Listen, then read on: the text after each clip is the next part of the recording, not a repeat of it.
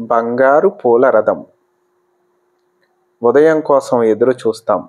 ఎదురు చూడాలి. ఈ రోజు కంటే రేపు గొప్పది. ఈ సంవత్సరం కంటే వచ్చే సంవత్సరం మరింత గొప్పగా ఉంటుంది. ఎదురు చూడటంలో నమ్మకం ఉంది. ఆశ ఉంది. మనోబలం ఉంది. శ్రద్ధ ఉంది. ఇష్టం ఉంది. అపారమైన ప్రేమ ఉంది. బతకాలన్న కోరిక మెండుగా ఉంది. వసంతం కోసం కోయిల కోయిల కోసం వసంతం ఎదురు చూస్తాయి. ఎంతో కష్టపడి తాను పోగు చేసిన తేనెను మనిషికి అందించాలనే సంతోషంతో ఎదురు చూస్తుంది తేనెటీగ. ఆ సహజత్వంలో అపారమైన ప్రకృతి ప్రేమ ఉంది. కారణ జన్ములను కన్నతల్లులు కూడా తొమ్మిది నెలలకు తమ గర్భంలో మోసి వారి కోసం రాక కోసం ఎదురు చూశారు.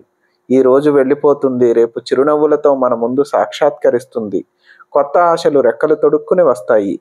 కొత్త చిగుళ్ళతో చెట్లు ముస్తాబవుతాయి. కొత్త సూర్యుడు బంగారు పూలరథం మీద వస్తాడు. భవిష్యత్తులో జరగబోయే అద్భుతాల కోసం అందరూ ఎదురు చూడాలి.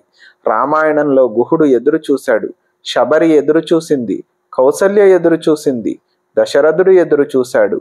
అయోధ్య ఎదురు చూసింది శ్రీరాముడి జననం కోసం. కాలాన్ని దివ్యత్వంతో నింపుతారు. లోకాన్ని సంరక్షిస్తారు. మంచి మనుషుల కోసం మంచి పనుల కోసం మంచి వాళ్ళు వస్తారు.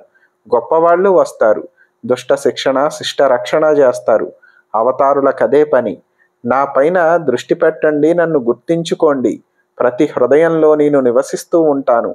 మీరు ఎక్కడికో దూరం పోనవసరం లేదు. నేను సనాతనుణ్ణి నిత్య నూతనుణ్ణి పాత కొత్తలో నేనే అని చెప్పాడు భగవద్గీత బోధలో శ్రీకృష్ణుడు. విత్తనాలు భూమిలో నాటి వర్షం కోసం ఎదురు చూస్తాడు రైతు. ఆశలు జీవితంలో నాటి బంగారు భవిష్యత్తు కోసం ఎదురు చూస్తాడు మనిషి. మనిషి జీవించడమే ఎదురు చూడడం. రేపటి కోసం కొత్త జెండా మొయ్యాలి. జీవన స్ఫూర్తిని నింపుకొని కాలాన్ని పండించుకుంటూ ముందుకు సాగాలి. సరిహద్దుల్లో చలిలో కాపలా కాసే సైనికుడిలా దేశభక్తితో దైవభక్తితో జీవితాన్ని రక్షించుకుంటూ జీవించాలి. జీవితం అంటే ఎదురుచూపులే. జీవనమంతా ఆశల ఊపిరులే.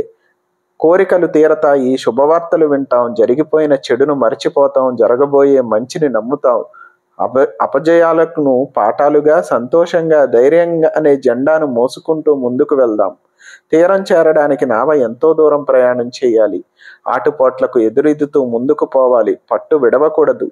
పడినా వంద సార్లైనా పైకి లేవాలి. రేపటి విజయానికి ఈ రోజును ముస్తాబు చేసుకోవాలి. గొంగళి పురుగు సీతాకోక చిలుకగా మారడానికి పరిణామం తప్పదు. అదే దాని జీవన పరిపూర్ణత. త్యాగరాజు ఇంటికి శ్రీరాముడు నడిచి వచ్చినట్లు విజయం కోటి చేతులలో చేతులతో నూతన భవిష్యత్తును మన ముందుకి తెచ్చి ఆవిష్కరిస్తుంది. అందరూ శుభాకాంక్షలు చెప్పుకోండి. బాధ్యతలు మరిచిపోకండి. ఆనందపు విలువలో జీవన విలువలు విస్మరించవద్దు. బతుకు శిఖరం చేరాలంటే జీవితాన్ని గౌరవించాలి. పాత పనులైనా కొత్త భావాలతో చాకచక్యంగా వ్యవహరించి చక్కబెట్టుకోవాలి. సత్యమేవ జయతే.